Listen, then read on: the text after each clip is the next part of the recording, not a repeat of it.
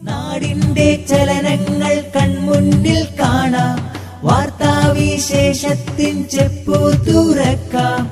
K M I C news K M I C news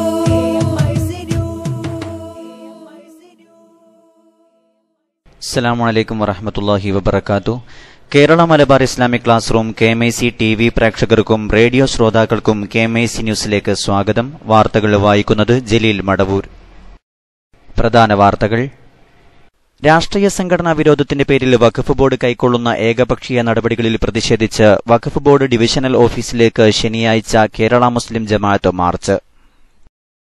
താനൂരിലെ Muslim league ഭീകരവാഴ്ചയ്ക്കെതിരെ ശക്തമായ പ്രതിഷേധം. പ്രതികളെ ഉടൻ അറസ്റ്റ് ചെയ്യണമെന്ന് സുന്നി നേതാക്കൾ. വി എസിന് പാർട്ടി വിരുദ്ധനെന്ന് എവിടെയും പറഞ്ഞിട്ടില്ലെന്ന് പിണറായി വിജയൻ. പ്രസ്താവന വിവാദത്തിൽ പിണറായിയെ ഉപദേശിച്ച് വി എസിന്റെ Facebook post. A D F അധികാരത്തിൽ വന്നാൽ ആദ്യം ശരിയാക്കുന്നത് V S അച്യുതാനന്ദനെയെന്ന് V M Sudheeran. U S പ്രസിഡന്റിന്റെ അവസാന സൗദി സന്ദർശനം ജി സി സി ഉച്ചകോടിയിൽ മുഖ്യാതിഥിയായ ഒബാമ റിയാദിൽ ഊഷ്മള സ്വീകരണം. സമസ്ത കേരള സുന്നി വിദ്യാഭ്യാസ ബോർഡിന്റെ കീഴിൽ Tibyan Islamic pre school teachers ട്രെയിനിങ്ങിന് കോഴ്സ് ആരംഭിച്ചു. ഐ സി എഫ് വെൽഫെയർ സാന്ത്വനം പ്രവർത്തകരുടെ സഹായത്തിൽ രാഹുലിന്റെ മൃതദേഹം നാട്ടിലെത്തി. ഉത്തരാഖണ്ഡിൽ രാഷ്ട്രപതി ഭരണം ഏർപ്പെടുത്തിയ നടപടി ഹൈക്കോടതി റദ്ദാക്കി. ഹരീഷ് റാവത്ത് സർക്കാരിന് ഭരണം തുടരാം. വാർത്തകൾ വിശദമായി. വി എസ് അച്യുതാനന്ദന് പാർട്ടി വിരുദ്ധനെന്ന് എവിടെയും പറഞ്ഞിട്ടില്ലെന്ന് C P M polit bureau അംഗം പിണറായി വിജയൻ. തന്റെ വാക്കുകൾ വളച്ചൊടിച്ചതിനു പിന്നിൽ രാഷ്ട്രീയമുണ്ടെന്ന് പിണറായി കൊല്ലത്ത് പറഞ്ഞു. തന്നെ യെച്ചൂരി വിളിച്ചു എന്ന റിപ്പോർട്ടുകളും ശരിയല്ല. കേരളത്തിലെ വിഷയങ്ങൾ പി ബി കമ്മീഷന്റെ മുന്നിലാണ്.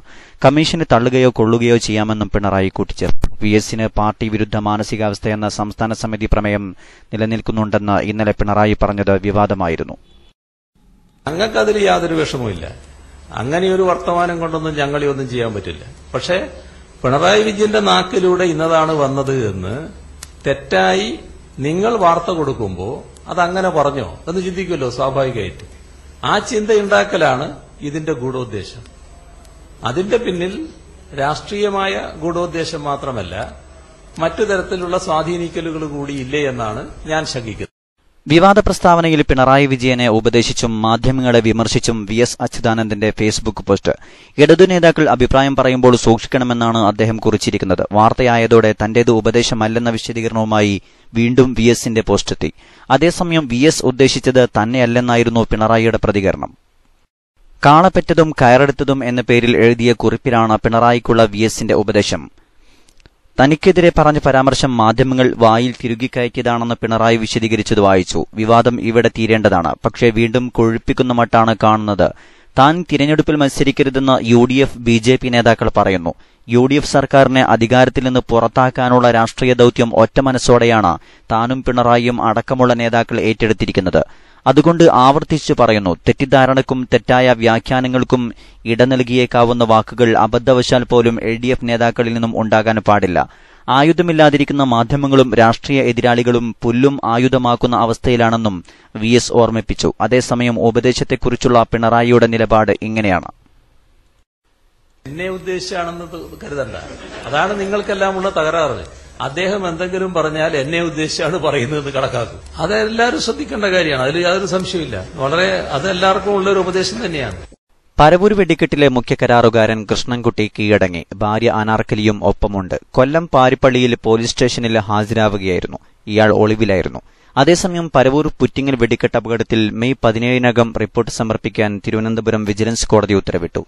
പൊതുപ്രവർത്തകനായ ഗിരീഷ് ബാബു സമർപ്പിച്ച സ്വകാര്യ ഹർജി സ്വീകരിച്ചാണ് കോടതി നിർദ്ദേശം. കൊല്ലം കലക്ടർക്കും കമ്മീഷണർക്കും ക്ഷേത്ര ഭാരവാഹികൾക്കുമെതിരെ കേസെടുത്ത് അന്വേഷിക്കണമെന്നാണ് ഹർജിയിലെ ആവശ്യം. ഗുരുതരമായ ഉദ്യോഗസ്ഥ വീഴ്ച വൻ ദുരന്തത്തിലേക്ക് എത്തുകയായിരുന്നുവെന്നും ഹർജിയിൽ ആരോപിച്ചു. എൽ ഡി എഫ് അധികാരത്തിൽ വന്നാൽ ആദ്യം ശരിയാക്കുന്നത് വി എസ് അച്യുതാനന്ദനെ ആയിരിക്കുമെന്ന് കെ പി സി സി അധ്യക്ഷൻ വി എം സുധീരൻ. പിണറായി വിജയന്റെ പ്രസ്താവന ഇതിന് തെളിവാണ്. സ്വന്തം പാർട്ടിയിലെ മുതിർന്ന നേതാവിനെ പോലും ഉൾക്കൊള്ളാൻ കഴിയാത്ത പാർട്ടിയാണ് C P M. B J പിക്കൊപ്പം C P എമ്മും അസഹിഷ്ണുതയുടെ പര്യായമായി മാറിയിരിക്കുകയാണെന്ന് സുധീരൻ പറഞ്ഞു. മദ്യനയം കുറ്റമറ്റ രീതിയിൽ പഴുതുകളടച്ച് മുന്നോട്ട് കൊണ്ടുപോകുമെന്ന് വി എം സുധീരൻ പറഞ്ഞു. നിലവിലെ നയത്തിൽ ചില പോരായ്മകൾ ഉണ്ടായിരുന്നുവെന്നും സുധീരൻ തിരുവനന്തപുരത്ത് പറഞ്ഞു. സി പി എമ്മിൽ നിലനിൽക്കുന്ന അതിരൂക്ഷമായ പ്രതിസന്ധിയാണ് സഖാവ് പിണറായി വിജയന്റെയും തുടർന്ന് മറ്റ് നേതാക്കളുടെയും പ്രസ്താവനകളിൽ കാണുന്നത്. പാർട്ടിയിലെ തലമുതിർന്ന നേതാവായിട്ടുള്ള വി എസിനെ പോലും ഈ തെരഞ്ഞെടുപ്പിന്റെ നിർണായക സന്ദർഭത്തിലും ഉൾക്കൊള്ളാൻ സാധിക്കാത്ത തലത്തിലേക്ക് അവരുടെ വിഭാഗീയത ചെന്നെത്തിയിരിക്കുകയാണ്. സ്വന്തം പാർട്ടിയിലെ മുതിർന്ന നേതാവിനെ പോലും അംഗീകരിക്കാൻ ഉൾക്കൊള്ളാൻ സാധിക്കാത്തവർ. എങ്ങനെ കേരളത്തിലെ ജനങ്ങളെ ഒന്നായി കാണും എന്നൊരു ചോദ്യം എൽ ഡി എഫ് വന്നാൽ എല്ലാം ശരിയാകും. എന്നുള്ള മുദ്രാവാക്യം. അതിന്റെ അർത്ഥം ഇപ്പോഴാണ് വ്യക്തമാകുന്നത്.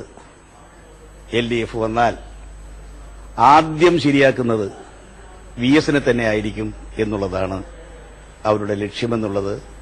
കൃത്യമായി ഏവർക്കും മനസ്സിലാകുന്ന തലത്തിലേക്കാണ് കാര്യങ്ങൾ പോകുന്നത്. ഉത്തരാഖണ്ഡിൽ രാഷ്ട്രപതി ഭരണം ഏർപ്പെടുത്തിയ നടപടി ഹൈക്കോടതി റദ്ദാക്കി. പുറത്താക്കപ്പെട്ട ഹരീഷ് റാവത്ത് സർക്കാരിന് ഭരണം തുടരാമെന്നും chief justice K M Joseph അധ്യക്ഷനായ ബെഞ്ച് വ്യക്തമാക്കി. രാഷ്ട്രപതി ഭരണം ഏർപ്പെടുത്തിയത് ചോദ്യം ചെയ്ത് ഹരീഷ് റാവത്ത് സമർപ്പിച്ച ഹർജിയിലാണ് ഹൈക്കോടതിയുടെ ഉത്തരവ്. സംസ്ഥാനത്ത് രാഷ്ട്രപതി ഭരണം ഏർപ്പെടുത്താൻ കേന്ദ്ര സർക്കാരിന് നിക്ഷിപ്ത താൽപര്യമുണ്ടായിരുന്നുവെന്ന് കോടതി ചൂണ്ടിക്കാട്ടി. ഭരണഘടനയുടെ മുന്നൂറ്റി അൻപത്തിയാറാം വകുപ്പ് പ്രയോഗിക്കുന്നതിൽ കേന്ദ്രം പക്ഷപാതപരമായി പെരുമാറരുത്. നിക്ഷിപ്ത കക്ഷികൾക്കെതിരെ മുന്നൂറ്റി അൻപത്തിയാറ് പ്രയോഗിക്കുന്നതിൽ താൽപര്യമുണ്ടാകരുതെന്നും കോടതി പറഞ്ഞു.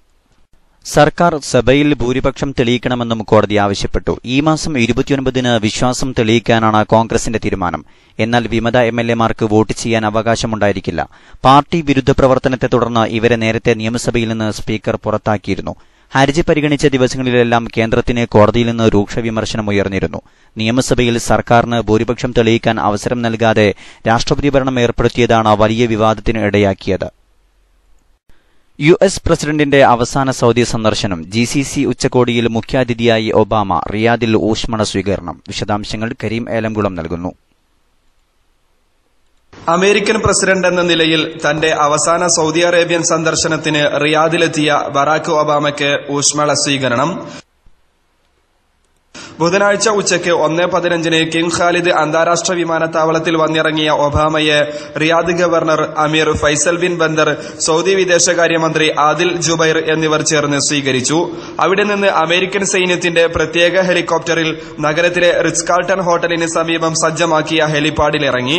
വൈകുന്നേരത്തോടെ ദറയ്യ കൊട്ടാരത്തിൽ സൗദി ഭരണാധികാരി സൽമാൻ രാജാവിനെ അദ്ദേഹം സന്ദർശിച്ചു. ഇരു രാഷ്ട്രങ്ങളുടെയും പൊതുതാൽപര്യ വിഷയങ്ങളും മേഖലയിലെ പ്രശ്നങ്ങളും നേതാക്കൾ ചർച്ച ചെയ്തു. പശ്ചിമേഷ്യയിലെ രാഷ്ട്രീയ സംഭവ വികാസങ്ങളും രാജ്യാന്തര തലത്തിൽ നടക്കുന്ന ഭീകരവിരുദ്ധ നീക്കങ്ങളും ചർച്ചകളിലെത്തി.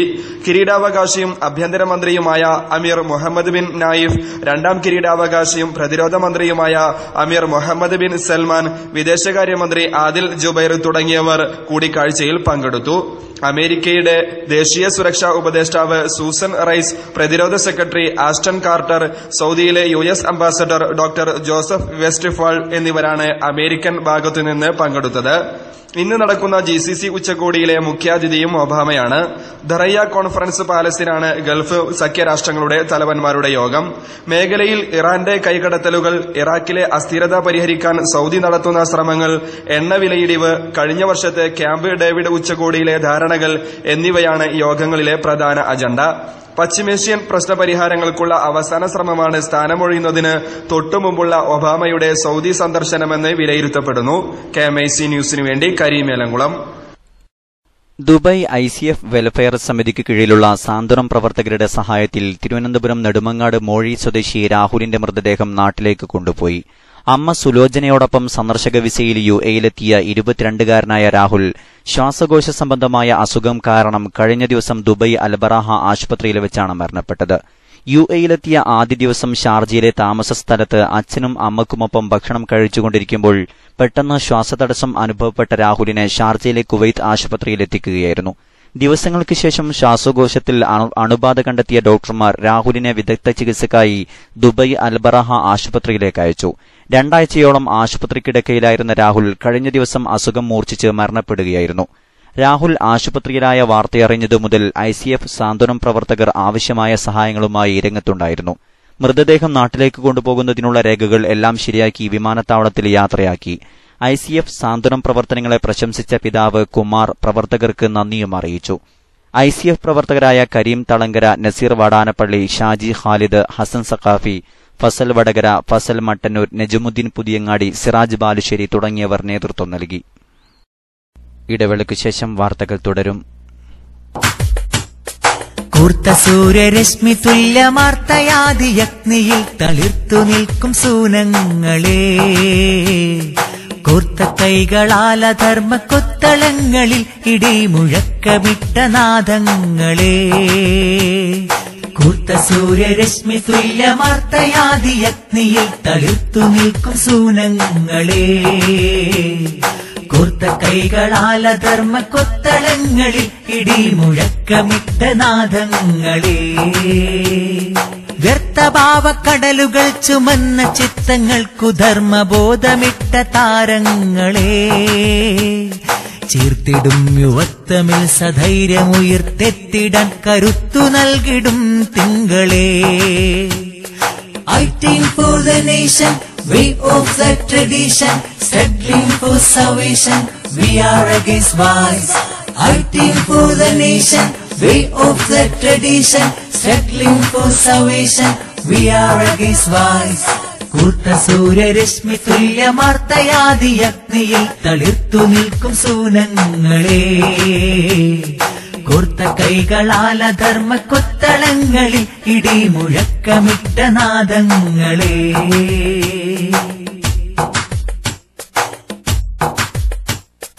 നന്മ തൻ സുഗന്ധിയായി പടർന്നിടും സുഗന്ധമായി. തിന്മയോടെ എതിർത്തു ശാന്തി മന്ത്രമോതും ഗീതമായി. ശൂരിതർ സ്വഹാബത്തിന്റെ വീര്യമുള്ള ശക്തി നാം. ധീരതയ്ക്കു പേരു കേട്ട ഉമറും ധീരമക്കൾ നാം. ശൂരിതരായി നിസ്വാർത്ഥരായി നബി വിരിച്ച പാതയിൽ ചരിത്തേ. വാർത്തകൾ തുടരുന്നു. സംഘടനാ വാർത്തകൾ രാഷ്ട്രീയ സംഘടനാ വിരോധത്തിന്റെ പേരിൽ വഖഫ് ബോർഡ് കൈക്കൊള്ളുന്ന ഏകപക്ഷീയ നടപടികളിൽ പ്രതിഷേധിച്ച് കോഴിക്കോട്ടെ വഖഫ് ബോർഡ് ഡിവിഷണൽ ഓഫീസിലേക്ക് ഈ മാസം ഇരുപത്തിമൂന്നിന് മാർച്ച് നടത്തും. കേരള മുസ്ലിം ജമാഅത്തിന്റെ ആഭിമുഖ്യത്തിൽ നടക്കുന്ന മാർച്ച് ശനിയാഴ്ച കാലത്ത് പത്ത് മണിക്ക് ആരംഭിക്കും. കഴിഞ്ഞ ഏതാനും വർഷമായി വഖഫ് സ്ഥാപനങ്ങളുമായി ബന്ധപ്പെട്ട വിഷയങ്ങളിൽ തികച്ചും ഏകപക്ഷീയമായ നിലപാടുകളാണ് വഖഫ് ബോർഡിൽ നിന്ന് ഉണ്ടാവുന്നത്. നിരന്തരം പരാതികൾ നൽകിയിട്ടും പരിഹാരമില്ലാതെ വന്ന സാഹചര്യത്തിലാണ് പ്രക്ഷോഭത്തിലേക്ക് നീങ്ങുന്നത്. ഇക്കാര്യം പലതവണ ബോർഡ് ചെയർമാന്റെയും സർക്കാരിന്റെയും ശ്രദ്ധയിൽപ്പെടുത്തിയിട്ടും കൈമലർത്തുകയാണ് ഉണ്ടായത് രാഷ്ട്രീയ വിരോധത്തിന്റെ പേരിൽ പൊതുസ്ഥാപനമായ വഖഫ് ബോർഡ് കാര്യാലയത്തെ സങ്കുചിത താൽപര്യങ്ങൾക്കും രാഷ്ട്രീയ പകപോക്കലിനും ദുരുപയോഗം ചെയ്യുന്നതിൽ പ്രതിഷേധിച്ചാണ് മാർച്ച് സംഘടിപ്പിക്കുന്നത്. മഹല്ല് ഭരണസമിതികളുമായും സ്ഥാപനങ്ങളുമായും ബന്ധപ്പെട്ട് ഉണ്ടാകുന്ന തർക്കങ്ങളിൽ നിയമവിരുദ്ധമായാണ് വഖഫ് ബോർഡ് തീരുമാനങ്ങൾ എടുക്കുന്നത്. ചർച്ചകൾക്ക് പോലും സന്നദ്ധമാകാതെ പല തീരുമാനങ്ങളും ഏകപക്ഷീയമായി അടിച്ചേൽപ്പിക്കുകയാണ്. കോടതികൾ സ്റ്റാറ്റസ് കോ നിർദ്ദേശിച്ച സ്ഥലങ്ങളിൽ പോലും അവിഹിത ഇടപെടൽ നടത്തി തീരുമാനങ്ങളെടുക്കുന്ന സാഹചര്യമാണ് നിലനിൽക്കുന്നത്. ബന്ധപ്പെട്ടവരെ നിരന്തരം ഇക്കാര്യം അറിയിച്ചിട്ടും യാതൊരു നടപടിയുമുണ്ടാകാത്ത സാഹചര്യത്തിലാണ് പ്രക്ഷോഭത്തിലേക്ക് നീങ്ങുന്നത്. കോഴിക്കോട് ഡിവിഷണൽ ഓഫീസിലേക്ക് ശനിയാഴ്ച നടക്കുന്ന മാർച്ചിൽ പ്രമുഖ നേതാക്കൾ പങ്കെടുക്കും. മാർച്ചിൽ പങ്കെടുക്കുന്നവർ ശനിയാഴ്ച കാലത്ത് ഒൻപത് മണിക്ക് ടൗൺ ഹാൾ പരിസരത്ത് എത്തിച്ചേരണമെന്ന് കേരള മുസ്ലിം ജമാഅത്ത് ഓഫീസിൽ നിന്ന് അറിയിച്ചു. സമസ്ത കേരള സുന്നി വിദ്യാഭ്യാസ ബോർഡിന്റെ പുതിയ സംരംഭമായ തുബിയാൻ ഇസ്ലാമിക് പ്രീ സ്കൂൾ അധ്യാപികമാർക്കുള്ള ട്രെയിനിംഗ് കോഴ്സ് പ്രഥമ ബാച്ചിന്റെ ഉദ്ഘാടനം മാവൂർ മഹ്ലറ ഇംഗ്ലീഷ് മീഡിയം സ്കൂളിൽ കേരള മുസ്ലിം ജമാഅത്ത് സെക്രട്ടറി എൻ അലി അബ്ദുള്ള നിർവഹിച്ചു. Sayyid Hasan Thangal Baqavi Mavoor professor A K Abdul Hameed Muhammad Ali master V M Koya master P T C Muhammad Ali master Abdul Kareem Karathode സംസാരിച്ചു. മൂന്ന് വയസ്സ് പ്രായമായ കുട്ടികൾക്ക് തജ്വീദ് നിയമമനുസരിച്ച് ഖുർആൻ പാരായണം പരിശീലിപ്പിക്കുന്നതോടൊപ്പം അത്യാവശ്യമായ ദിക്റുദ്വാകൾ മനഃപ്പാടമാക്കുന്നതിനും പ്രാപ്തരാക്കുന്നു. ഖുർആൻ പഠനത്തോടൊപ്പം കെ ജി സ്കൂൾ വിഷയങ്ങളിലും ഉയർന്ന നിലവാരത്തിലുള്ള പഠനം സാധ്യമാക്കുന്ന രണ്ട് വർഷത്തെ കോഴ്സിന് ശേഷം സ്റ്റേറ്റ് സെൻട്രൽ സിലബസുകളിൽ തുടർ പഠനത്തിന് വിദ്യാർത്ഥികളെ യോഗ്യരാക്കും. പ്ലസ് ടു വിദ്യാഭ്യാസത്തോടൊപ്പം മദ്രസ ഏഴാം തരം വിജയിച്ച പെൺകുട്ടികൾക്ക് ടീച്ചേഴ്സ് ട്രെയിനിംഗ് കോഴ്സിന് അപേക്ഷിക്കാവുന്നതാണ്. നേരത്തെ അപേക്ഷ സമർപ്പിച്ചവർക്കും പുതുതായി അപേക്ഷിക്കുന്നവർക്കുമുള്ള ഇന്റർവ്യൂ മുപ്പതിന് ശനിയാഴ്ച രാവിലെ പത്ത് മണിക്ക് മർക്കസ് കോംപ്ലക്സിലെ എസ് വൈ എസ് സെന്ററിൽ നടക്കും. കോഴ്സിന്റെ രണ്ടാം ബാച്ച് മെയ് ഏഴിന് ആരംഭിക്കും.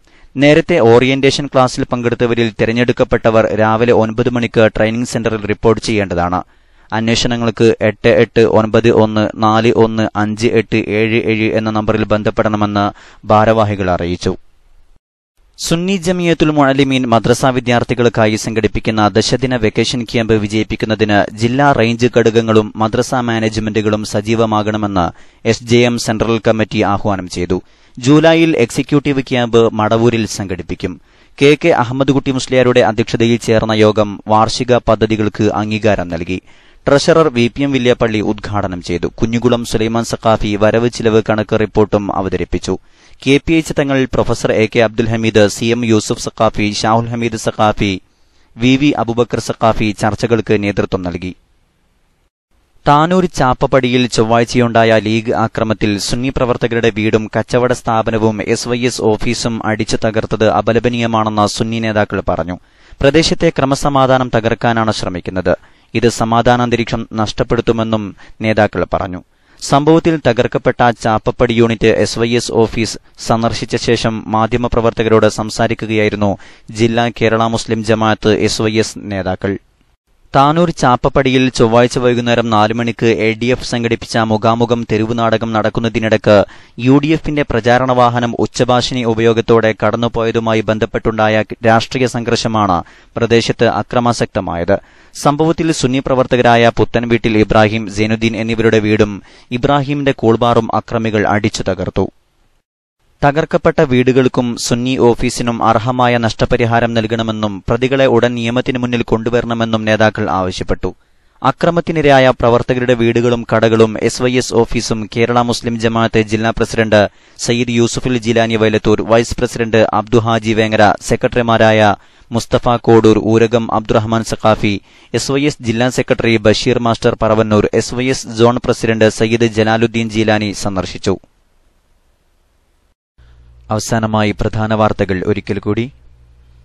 രാഷ്ട്രീയ സംഘടനാ വിരോധത്തിന്റെ പേരിൽ വഖഫ് ബോർഡ് കൈക്കൊള്ളുന്ന ഏകപക്ഷീയ നടപടികളിൽ പ്രതിഷേധിച്ച് വഖഫ് ബോർഡ് ഡിവിഷണൽ ഓഫീസിലേക്ക് ശനിയാഴ്ച കേരള മുസ്ലിം ജമാഅത്ത് മാർച്ച്.